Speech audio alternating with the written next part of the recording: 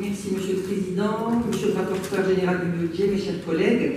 Cet exercice en cinq parties de l'évolution de la situation financière du Conseil régional de 2011 à 2016 doit donc avoir les tendances et les résultats issus des politiques de stratégie financière à la fois prudentes et ambitieuses menées lors des mandats précédents, de 2004 à 2010 et de 2010 à 2015 stratégie financière auquel nous devons cette solidité de la structure financière de la région Bretagne et solidité qui se confirme encore cette année par une gestion qualitative de la dette au service du développement et du développement humain de la Bretagne. L'occasion ici pour les régionalistes de souligner une fois de plus l'importance des hommes et des femmes du service finance de la région, sans les compétences desquelles, au service de l'action publique, nous n'atteindrions peut-être pas ces résultats. Les régionalistes retiennent quelques éléments de cet exercice. Le premier point, c'est qu'il donne à voir l'agilité avec laquelle notre collectivité continue à absorber les effets financiers de la loi dite Martin. À ce sujet, la du Césaire pointe ce qu'il nomme, j'ouvre les guillemets, les effets d'une décentralisation imparfaite. Je souligne, décentralisation imparfaite, comme par exemple la région devient autorité de gestion des fonds européens sans disposer de l'autorité de paiement qui reste sous la tutelle de l'État, fermez les guillemets, ce qui génère des retards de paiement inadmissibles car plombant dramatiquement les finances de nombreux agriculteurs, voire de collectivités ou d'associations. Ceci démontre une fois de plus que la modernité numérique affichée n'est pas forcément synonyme de progrès et souligne le large delta qui existe entre cette décentralisation imparfaite, donc perfectible, et ce que Jean-Yves Le Drian affirmait lors du colloque anniversaire des 30 ans des régions de France à Rennes en octobre 2016. J'ouvre les guillemets, cette décentralisation encore inachevée alimente le sentiment d'impuissance chez nos concitoyens. Il faut la poursuivre, car aujourd'hui, décentraliser, c'est régionaliser. Fin de citation. Cette décentralisation imparfaite va trouver à se parfaire davantage avec le transfert des compétences transport scolaire et interurbain, objet d'attente sociale très forte et objet d'une grande complexité au vu du nombre d'opérateurs. De ce fait, la dépense pourrait devenir moins prévisible que les investissements fortement maîtrisés sur BGV et l'offre ferroviaire bretonne globale.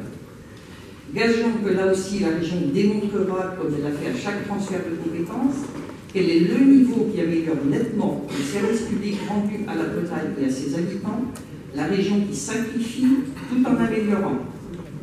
Le deuxième point qui nous a semblé important de retenir est celui de la capacité de désendettement de la région, aujourd'hui évaluée à 3,2 années, donc très éloignée encore du seuil de difficulté financière.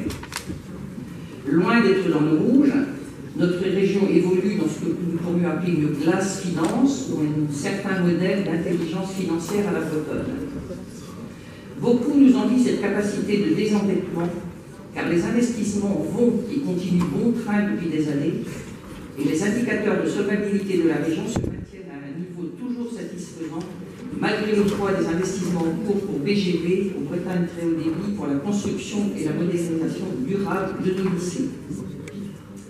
Le troisième point est la dynamique de la CVAE, cotisation sur la valeur ajoutée des entreprises, en hausse de 2,3% sur l'année précédente et en moyenne de 2,7% par an sur la période 2011-2016, ce qui démontre qu'une ressource dynamique qui, se conjugue à la vitalité de l'économie peut aider aussi la région à augmenter ses capacités d'autofinancement.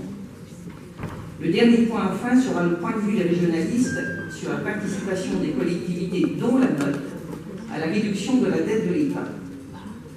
En effet, cette année 2017 va se singulariser pour l'État par la nécessité de devoir emprunter 185 milliards d'euros sur les marchés financiers, dont l'essentiel, 62%, soit 115 milliards d'euros, va être consacré à faire rouler la dette, c'est-à-dire emprunter pour rembourser les précédents emprunts de la France, tout en enrichissant les banques qui spéculent sur les dettes des États.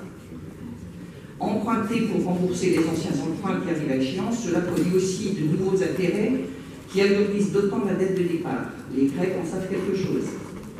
Aussi, les régionalistes s'inquiètent, car en dépit des efforts d'austérité imposés à tous, la dette française continue de grimper. Celle-ci était de 1000 milliards d'euros en 2002, elle taquine aujourd'hui les 2000 milliards d'euros. Et le seuil fatidique des 100% du PIB sera bientôt atteint, soit bien au-delà des 60% fixés par les contraintes européennes. Il s'agit là d'un problème politique en même temps que financier, parce que la charge de la dette représente aujourd'hui le deuxième poste budgétaire de la France, 42 milliards d'euros prévus en 2017, à comparer aux 31 milliards d'euros de la totalité des budgets cumulés de toutes les régions de France, outre-mer comprises.